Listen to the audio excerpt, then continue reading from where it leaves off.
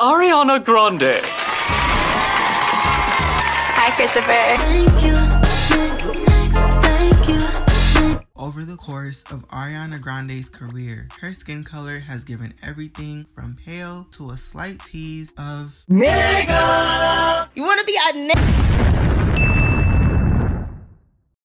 Ariana Grande isn't black, but in my opinion, she for sure niggered it up during Thank You Next era as light skinned Ari. Ain't no budget when I'm on the set. If I like it, then that's what I get. Yeah, I want it, I got it.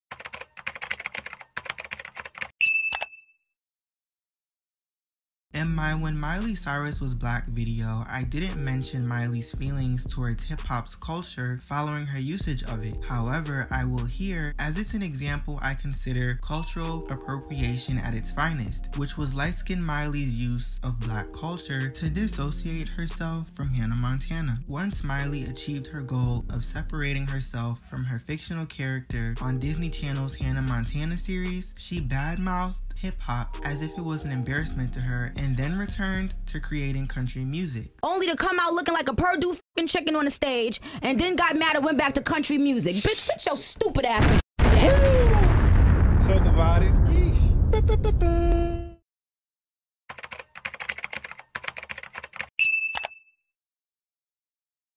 An iconic dance group of three Mozambican men by the name of Tofo Tofo were given the opportunity to showcase their South African culture to the world in the Queen of Music's legendary Run the World music video. Beyonce should have said, Who run the world? Gays. Yes, sir, ski.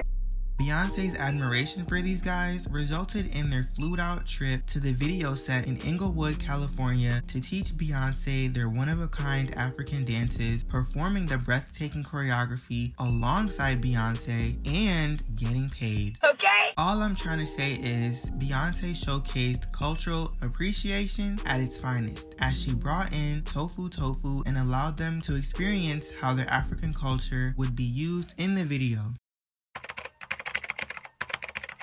Cultural appropriation to me is when you make it a costume and it's not coming from an authentic, genuine place. Considering Beyonce's example of cultural appreciation, Ariana Grande did the same in my opinion as she showed her appreciation of trap house culture in her notorious music video for Seven Rings. For example, the trap house in the music video contains black women, Hispanic women, as well as other communities a part of trap culture who've influenced the video. In connection with the track's R&B, hip hop, and trap influences, Ariana illustrated her appreciation for black culture with the track's creation, as it was produced by three black men. Furthermore, two of the track's writers are black women. My friends are here who I was lucky enough to work on the album with. This is Mikey and Scootie of Social House.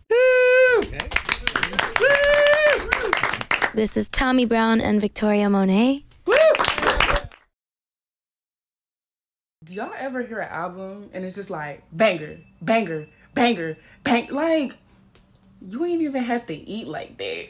you devour that mother. I gave my thoughts on Thank You Next in my Dark Tale of Thank You Next video, so no need to rerun them here, but I will include an additional thought and vocalize that light skinned Ari's reign over the music industry throughout Thank You Next's iconic era delivered a work of outstanding artistry that emphasizes why Ariana Grande is indeed a main pop girl.